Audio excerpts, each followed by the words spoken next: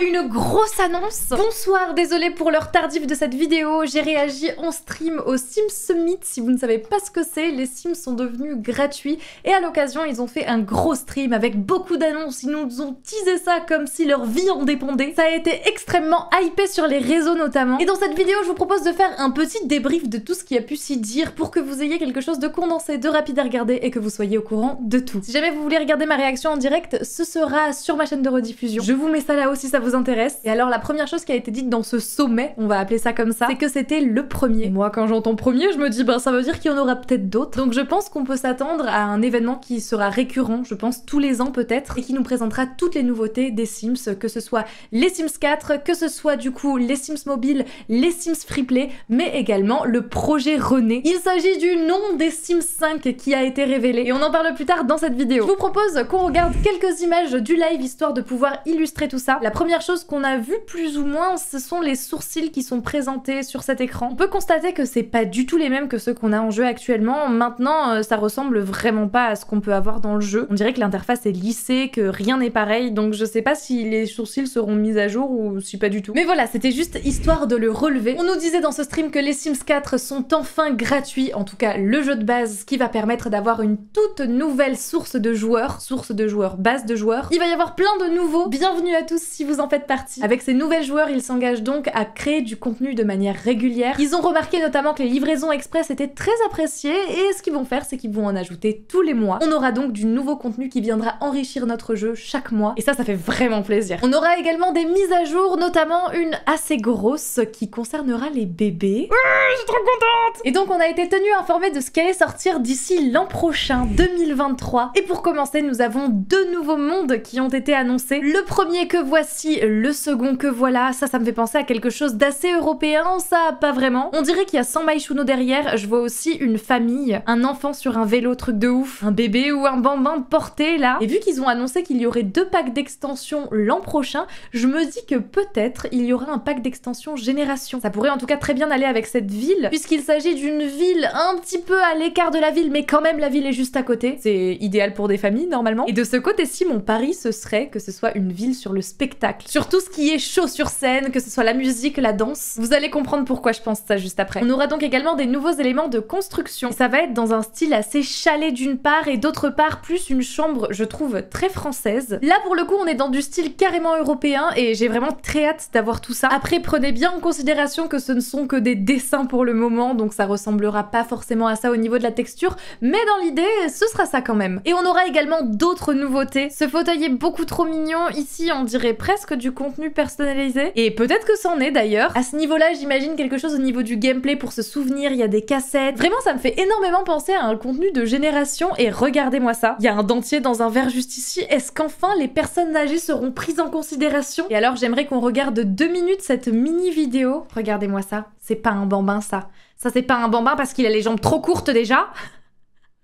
Et je crois qu'ils ont enfin pensé à faire la mise à jour des bébés, même si la coupe de cheveux ressemble beaucoup à celle des bonbons pour le coup. Ça, je sais pas pourquoi ils ont pas fait quelque chose d'un petit peu plus euh, tranquille. Apparemment, on peut s'attendre à ça pour 2023. Je pense que ce serait dans une mise à jour. Mais franchement, ça me hype de ouf. Ils nous ont également parlé dans ce stream des Sims et d'Overwolf. Alors, Overwolf, qu'est-ce que c'est? Il s'agit d'une plateforme qui répertorie des contenus personnalisés qui sont safe pour un jeu et qui sont donc validés, on va dire, et modérés par les Sims, l'équipe même des Sims et ce serait donc une collaboration entre les créateurs de contenu et les Sims, puisque le jeu leur permettrait d'avoir une plateforme où partager leur contenu. Ça permettrait également aux joueurs de pouvoir avoir un endroit sûr où télécharger. Et cette collaboration va être lancée dès le 14 novembre. il y a déjà des créateurs qui collaborent actuellement avec les Sims pour créer des objets, des vêtements, des cheveux. Il y a notamment Hey Harry. Et alors, euh, cette personne crée des contenus absolument magnifiques. Même moi qui n'en utilise pas, je le sais. Bon, après, j'en utilisais avant, donc. Malheureusement, cette plateforme n'est disponible que sur PC, donc les joueurs consoles ne pourront pas y avoir accès, mais quand bien même, c'est un grand pas pour les Sims d'enfin dire aux créateurs de contenu personnalisé et de mode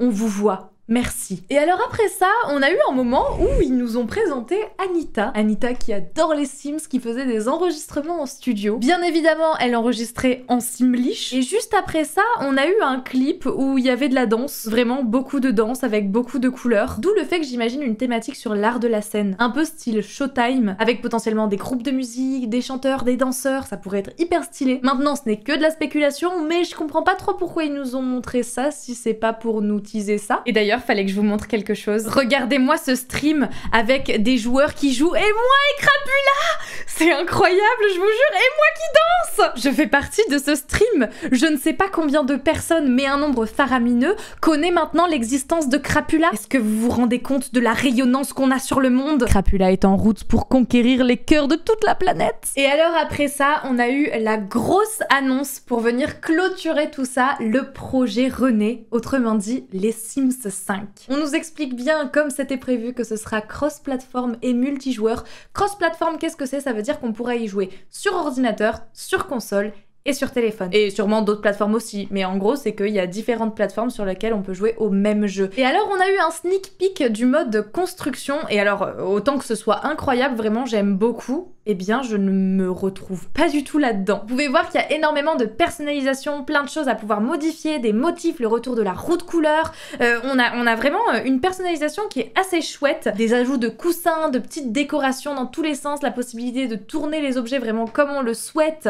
Mais je trouve que ça ne ressemble pas aux Sims. Les objets sont très beaux, je ne dis pas le contraire, mais la patte graphique, euh, je m'y retrouve pas forcément dedans. Maintenant, on peut clairement se dire que les Sims 4 et les Sims 3 n'ont pas du tout la même patte graphique, pourtant on s'est habitué aux Sims 4 alors que nombreux d'entre nous n'aimaient pas du tout le design que ça avait à la base. Je trouve vraiment que le jeu est très beau. Mon souci maintenant, c'est que ça me fait énormément penser à Paralives. Pour ceux qui sont pas au courant, je vous mets la playlist là-haut où je vous explique ce que c'est Paralives. C'est un jeu qui est actuellement en développement, qui va être une simulation de vie, un concurrent des Sims. Et on peut vraiment se rendre compte là de l'impact que Paralives a fait aux Sims, parce que justement on retrouve beaucoup de fonctionnalités que Paralives proposera dans ce nouveau jeu qui est en développement. Je retrouve un petit peu de la patte graphique et du thème de couleur de Paralives, et peut-être que c'est aussi ça qui me perturbe un petit peu, parce que pour moi c'est pas vraiment la patte graphique des Sims, surtout pour ce qui est de l'interface de jeu.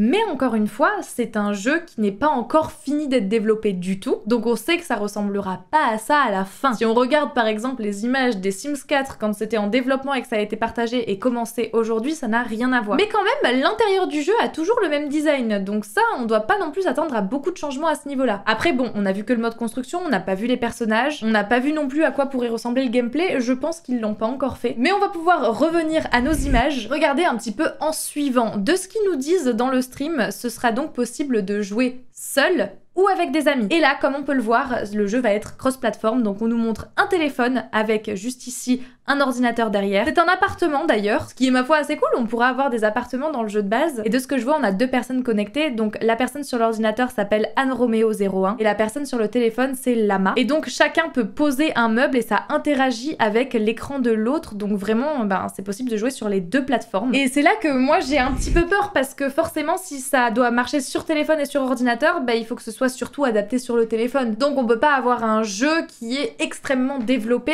et ça va forcément être bridé à un moment. Du coup c'est ça qui me fait un peu peur pour le futur des Sims. Est-ce que ce serait pas se tirer une balle dans le pied finalement que de proposer un jeu qui soit disponible pour toutes les plateformes? Après comme je le dis assez souvent, c'est pas parce que les Sims 5, donc projet René, sort que tous les joueurs des Sims 4 vont arrêter de jouer aux Sims 4 de la même manière que pas tout le monde a arrêté de jouer aux Sims 3 ou aux Sims 2. Chaque jeu a sa particularité et c'est la raison pour laquelle euh, les Sims 4 n'arrêtera pas d'être joué quand les Sims 5 sortiront. Ce qui nous rappelle, après avoir montré ces images, c'est qu'il reste encore au moins deux ans de développement à ce jeu et qu'ils ont jamais montré un jeu aussi peu fait, un développement aussi peu avancé en fait, ils l'ont jamais présenté au grand public comme ça. Leur but, ça va être de pouvoir avoir des retours de la communauté, qu'on fasse le jeu un petit peu ensemble, un peu comme Paralives finalement, encore une fois. Au bout des deux années, il devrait y avoir un accès anticipé qui sera disponible pour un petit nombre de joueurs et petit à petit, le jeu deviendra pour tout le monde. Et ça, ils ont pas précisé plus. Ils nous tiendront informés au cours de ces deux prochaines années sur comment tout ça avance. On aura des petits sneak peeks de tout ça, ça va être assez chouette. Et je trouve qu'il y a un côté où ça fait quand même du bien de voir que Paralives a fait bouger les fesses des Sims. Parce que si on retrouve autant de caractéristiques de Paralives dans les Sims 5, c'est parce qu'il y a de la concurrence et qu'il faut se mettre au même niveau et ça, ça fait plaisir parce qu'on se dit qu'on va peut-être avoir quelque chose de vraiment supérieur au niveau de la qualité. Maintenant, c'est sûr que les jeux ne se ressembleront pas. Pour le moment, on sait pas à quoi ça va ressembler et c'est pour ça que j'ai pas non plus trop peur. Je trouve ça chouette de voir l'état du jeu actuel, mais je me bloque pas dessus. Je sais que ça va évoluer et j'y crois. Je me dis que peut-être ça aura du potentiel, même si le cross-platform ça me fait assez peur. Du coup, écoutez, je vous tiendrai au courant des avancées si vous avez envie que je le fasse. J'essaierai de faire un petit peu le même style de vidéo que pour Parallax, mais pour les Sims. Et si jamais je devais avoir un gros regret sur ces annonces, c'est que j'étais persuadée